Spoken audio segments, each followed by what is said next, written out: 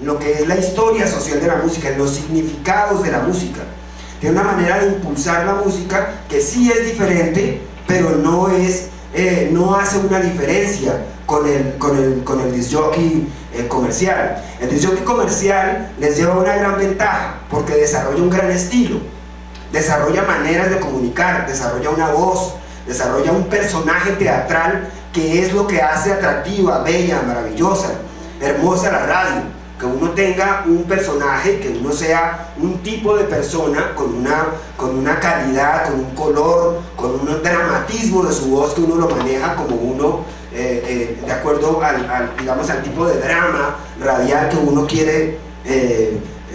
ubicar, o podríamos ponerlo entre comillas, vender dentro de, dentro, dentro de la radio.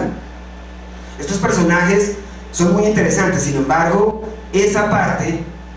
de, la educación y de la, y, de la, y de la cultura musical no ha avanzado mucho.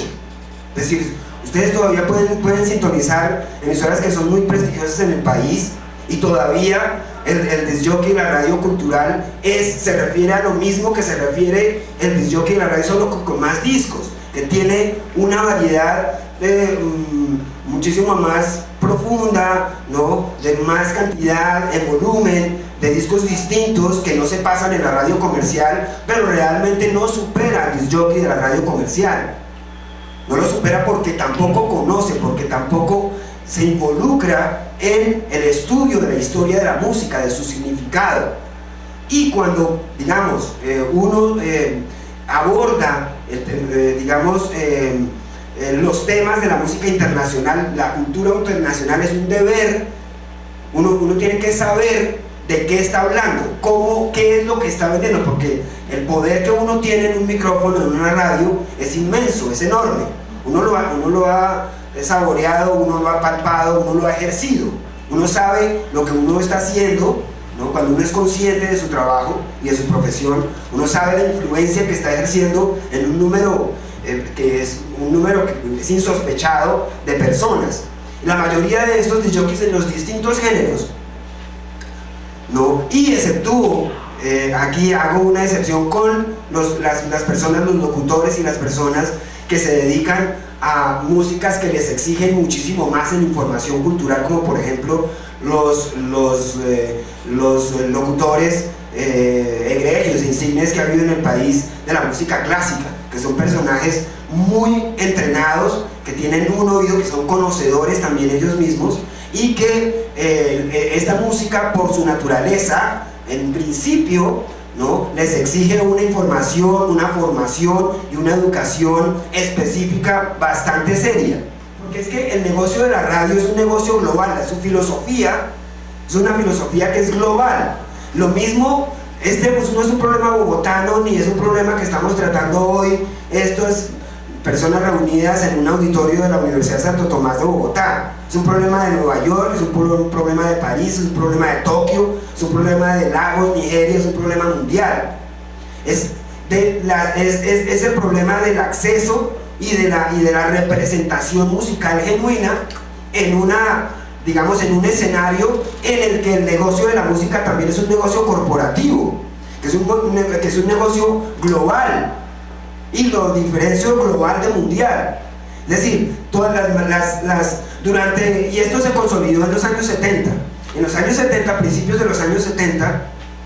cinco grandes sellos acapararon el negocio de la música en ese tiempo, ¿no? que eran Philips, Matsushita de Japón, eh, de Warner, eh, bueno, y otros, los seis grandes, cinco, los seis grandes de ese, de ese tiempo eh, diseñaron y modelaron la industria que es la que nos domina hoy. ¿no? Ahora, hoy día, pues, por los avances tecnológicos, tecnotrónicos, etc., hay una nueva cantidad de eh, alternativas que, están, que definitivamente cambiarán la faz del negocio de la difusión y de la distribución musical. Hay otras pero esas alternativas todavía Ahora lo que existe en este terreno o en este interreno de, transición es una gran confusión. Yo, usted, si usted va a una fiesta hoy día, aquí en Bogotá, en Nueva York, en Boston, en, Buenos Aires, va a una fiesta y lo primero que se encuentra, se encuentra con un jovencito y le dice, oye, eh, eh, búscame en MySpace. Todo el mundo tiene una página, todo el mundo, digamos, esa democratización, lo que ha conducido es a una confusión, hay, una, hay una, hay una, una marea, ¿sí? que es legítima de creadores de música o de imitadores o de hacedores de sonidos, eh, como, como, como, merezcan ser llamados en su determinado momento. La mediación de la industria, paradójicamente, en alguna parte de la historia, representó un filtro, representó eh, eh, una manera bastante eficiente de encontrar el talento y el mejor del talento. Muchos de esos sellos pequeños,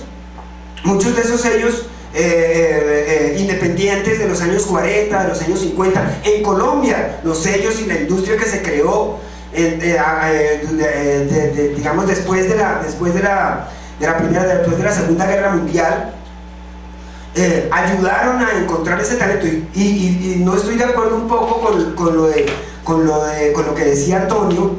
eh, con respecto a la difusión de la música colombiana, porque hubo una época en la, en la historia de la radio colombiana que la programación estaba eh, llena de, de, de, productos artísticos colombianos y latinoamericanos. ¿no? La industria ha tenido, pues, desde luego, y, y, y, representa pues parte de su historia y de sus mismas contradicciones, que son dinámicas, que son dialécticas, etcétera, eh, una influencia sobre cómo se, se, produce, cómo se crea y cómo se hace. Desde que los discos planos, como digo, a finales de, del siglo XIX se inventaron, desde que se inventó el fonógrafo y desde que la radio entró a mediar. Ahora bien, creo que el problema de lo comercial eh, y el problema de lo, de lo industrial también pasa por un asunto de también pasa por un asunto de legislaciones. Yo no sé si en Colombia, y a eso hablaba ayer con Fernando España, si en Colombia eh, existe la, la, legislación contra la payola, porque en los Estados Unidos, como hablábamos ayer y como se recordó hoy,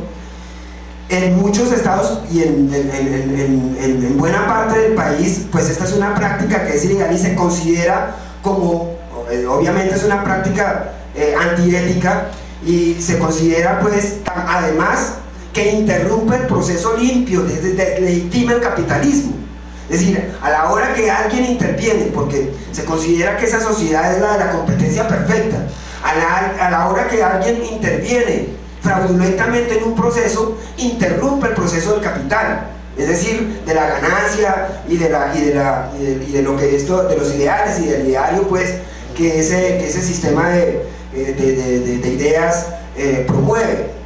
Ahora bien, en Colombia, no sé si esta, esta eh, legislación es, eh, eh, existe, ¿no? Y tal y como existe en los Estados Unidos. Esta, esto es, digamos, el primer gran escándalo y lo que se conoce como peyola, empezó, digamos, se hizo famoso en 1959 y afectó paradójicamente a los más grandes disjockeys, a, a las gentes digamos que no eran percibidas así en ese momento o que tenían un gran poder, pero hoy vistos desde la perspectiva de la historia resulta que son fundamentales para la historia de la música moderna, pero estos, eh, pero el alegato principal de ellos que perdieron desde luego en la corte era que esa era una práctica normal de la industria y siempre funcionó así. No es, un, no es un invento ni eran unos personajes corruptos per se, era que funcionaba así. Lo que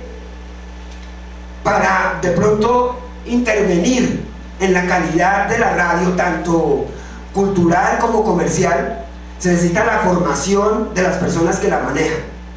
Una formación que es seria, no es eh, asistir a tres cursos o a dos charlas, sino que es una formación que es seria, porque la música es una de las bellas artes. Y la música, por su naturaleza, implica muchísimas eh, digamos, áreas del pensamiento, de las emociones,